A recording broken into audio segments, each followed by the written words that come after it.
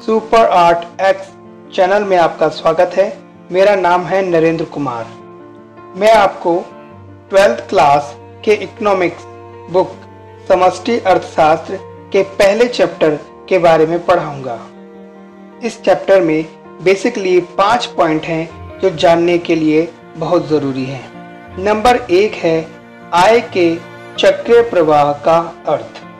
Number दो है stock व प्रवाह। नंबर तीन है चक्रीय प्रवाह के प्रकार, अर्थात वास्तविक प्रवाह और मौद्रिक प्रवाह। और पांचवा और अंतिम पॉइंट है एक सरल अर्थव्यवस्था में चक्रीय प्रवाह। तो अब स्टार्ट करते हैं पॉइंट नंबर वन से, आय के चक्रीय प्रवाह का अर्थ। बच्चों, आय के चक्रीय प्रवाह का अर्थ है परिवार क्षेत्र और फर्म क्षेत्र के बीच आय का प्रवाह होना। जब परिवार क्षेत्र फर्म के लिए अपनी सेवाएँ अर्थात श्रम या पूंजी या भूमि देता है तो उसके बदले फर्म कुछ पैसे देती है परिवार क्षेत्र को। और फिर उन सेवाओं का इस्तेमाल करके जब फर्म कोई वस्तु बनाती है तो उस वस्तु को बाज़ार में बेचा जाता है। और उस वस्तु को खरीदने के लिए परिवार क्षेत्र उस पैसे का इस्तेमाल करता है, जो फर्म द्वारा उसे दिया गया है। और फिर वह पैसा, वह आय फिर से घूम करके फर्म के पास आ जाती है। इसी प्रकार के चक्रीय प्रवाह को कहते हैं, आय का चक्रीय प्रवाह। इस चक्रीय प्रवाह के तीन चरण हैं। पहला है उत्पादन चरण, दूसरा है आय चरण, और तीसरा है व्यय चरण। उत्पादन चरण में फर्म परिवार द्वारा प्राप्त की गई सेवाओं के बदले कुछ वस्तुओं का सर्जन करता है, अर्थात उत्पादन करता है। और दूसरे चरण में वह क्या करता है, फर्म क्षेत्र, परिवार क्षेत्र को पैसे देता है। अर्थात प्राप्त की गई सेवा के बदले उन्हें आय देता है।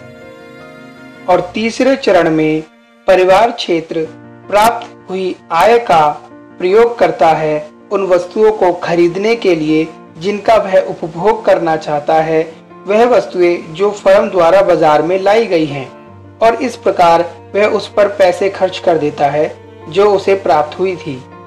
इस प्रकार यह आय लौट करके फर्म के पास पहुँच जाती है और यही चक्र चलता रहता है।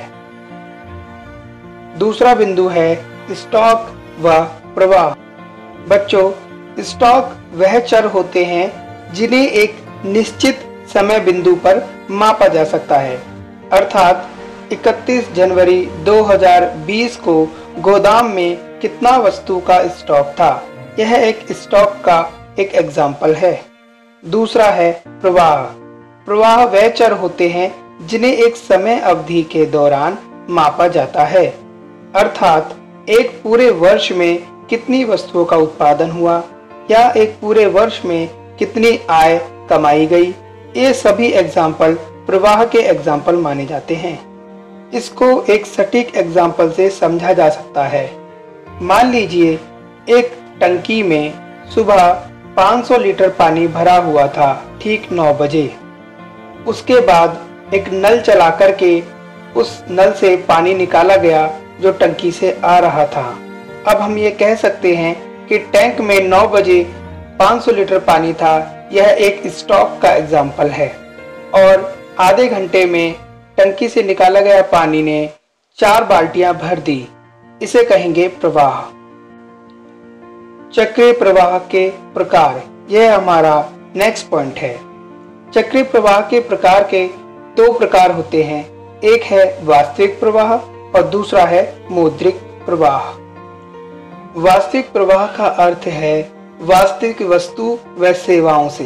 अर्थात, जब फर्म परिवार क्षेत्र से सेवाएँ प्राप्त करती है और फिर उन सेवाओं के बदले वह कुछ वस्तुएँ उत्पादित करती है और उन वस्तुओं को परिवार क्षेत्र खरीदता है तो इस प्रकार सेवा और वस्तु का जो प्रवाह है, वह कहलाता है वास्तविक प्रवाह। इसे भौतिक प्रवाह के नाम से भी जाना जाता है। दूसरी ओर है मौद्रिक प्रवाह मौद्रिक प्रवाह से अभिप्राय है कि जब फर्म परिवार क्षेत्र को उसकी साधन सेवाओं के बदले भुगतान करती है, अर्थात पैसे देती है, और साथ ही उस पैसे का प्रयोग परिवार उन वस्तुओं को खरीदने में कर लेता है जो फर्म द्वारा बाज़ार में लाई गई हैं। इस प्रकार वह पैसा वापस घूम करके फर्म के पास आ जाता है इस प्रकार मुद्रा के प्रवाह को ही मौद्रिक प्रवाह कहते हैं। और अब बच्चों लास्ट पॉइंट है, एक सरल अर्थव्यवस्था में चक्रीय प्रवाह। एक सरल अर्थव्यवस्था उसे कहते हैं, जिसमें केवल दो क्षेत्र पाए जाते हैं, एक है परिवार क्षेत्र और दूसरा है परम क्षेत्र। ये बिंदु बिल्कुल वैसा ही है जैसा आपने पॉइंट नंबर एक पढ़ा था।